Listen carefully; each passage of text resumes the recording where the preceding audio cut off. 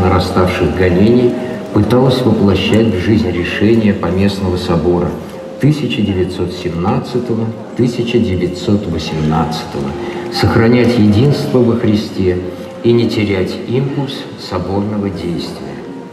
В 1918 году в различных городах страны прошли многолюдные крестные ходы. В общественных местах устраивались богослужения в поддержку патриарха. В адрес правительства отправлялись коллективные петиции в защиту церкви. В России начался массовый религиозный подъем, который трудно было ожидать в ситуации отхода от веры образованных слоев общества, длительного разрыва между верой и жизнью и усиления революционной пропаганды. Благодаря призыву патриарха Тихона в крупных городах возникали братства и духовные союзы.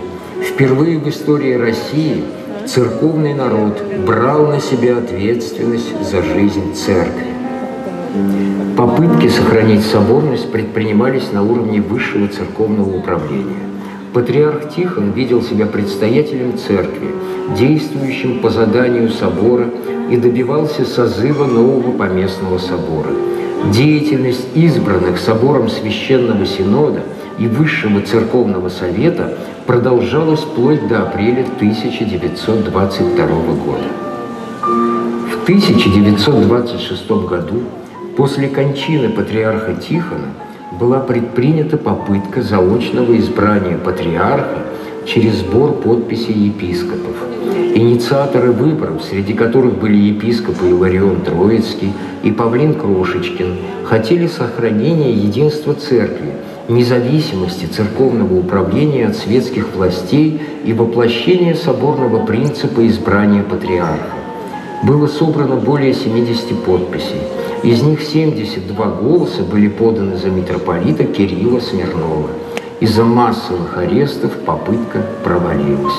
В сборе подписей участвовал архимандрит Таврион Батовский, известный собиранием церковного народа в 1970-е годы. Советская власть закрывала монастыри. Часто монашеским общинам приходилось принимать вид трудовых коммун, насаждавшихся советской властью.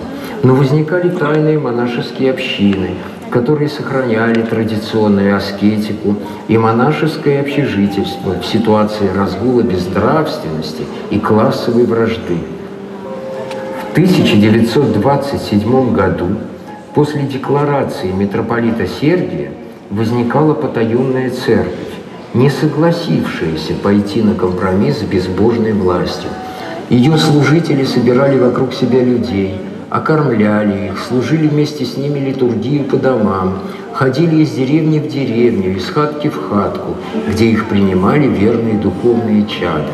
Это было и монашество, старчество, и иночество в миру. Известный катакомбный священник архимандрит Серафим Битюков в 1935 году крестил будущего священника отца Александра Меня. В условиях советских гонений в церкви нашлись люди, которые искали подлинной христианской жизни и продолжали собирать народ Божий. Настоятель храма Николы в Клёниках, отец Алексей Мечев, еще в начале XX века говорил, что его задача устроить мирской монастырь. Таким монастырем в миру он называл духовную семью, находящуюся под единым духовным руководством и связанную узами любви. В ней каждый человек живет как обычный мирянин и член общества, но в душе работает Бог. В 1919 году патриарх Тихон благословил сложившуюся под окормлением отца Алексея общину. В 1923 году после кончины отца Алексея духовником общины стал его сын, отец Сергий Мечев. В Мечевской общине существовали духовные семьи, участники которых тесно общались друг с другом. Они встречались иногда каждую неделю, вместе читали что-либо из святоотеческой литературы и молились. При отце Сергии община разрослась, и таких семей стало больше. Во главе каждой стоял кто-нибудь из более опытных или старших по возрасту. Он становился помощником духовного отца и мог оказать первую духовную помощь. Когда отец Сергий был арестован, эти семьи стали большой духовной поддержкой для своих членов и помогли им не потеряться, хранить и развивать церковную жизнь. Священники Мечевского круга, архимандрит Борис Холчев, протеерей Василий Евдокимов, протеерей Георгий Тревогин, священник Сергий Никитин, священник Феодор Семененко – Петр Гнедич перебрались в Ташкентскую епархию, где не только собрали вокруг себя духовных чад, но создали оазис духовной жизни. Семья Мечевцев, Николая Евграфовича и Зои Вениаминовны Пестовых была знакома всей церковной Москве. Николай Евграфович совершил подвиг просвещения многих верующих людей. Он перепечатывал с помощью машинисток во множестве экземпляров духовные книги и рассеивал их буквально по всей стране.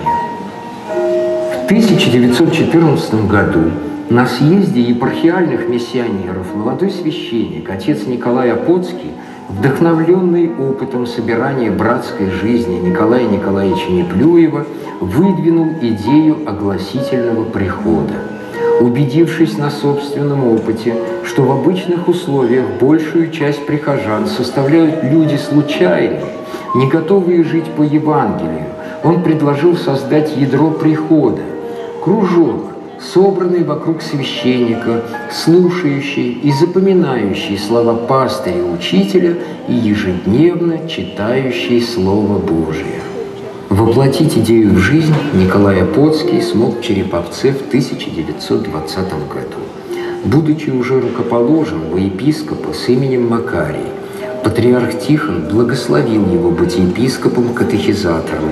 Владыка Макарий создал из своих единомышленников ядро прихода – братство, в которое кроме него входили девять человек.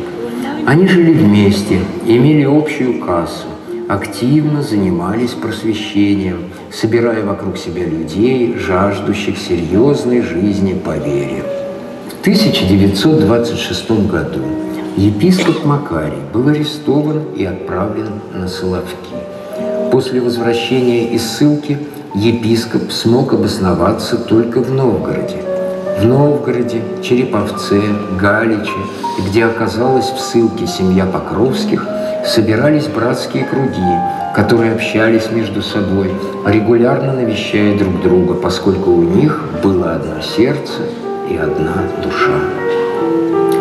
Главная мысль проповеди и бесед владыки оставалась неизменной – созидание соборной жизни.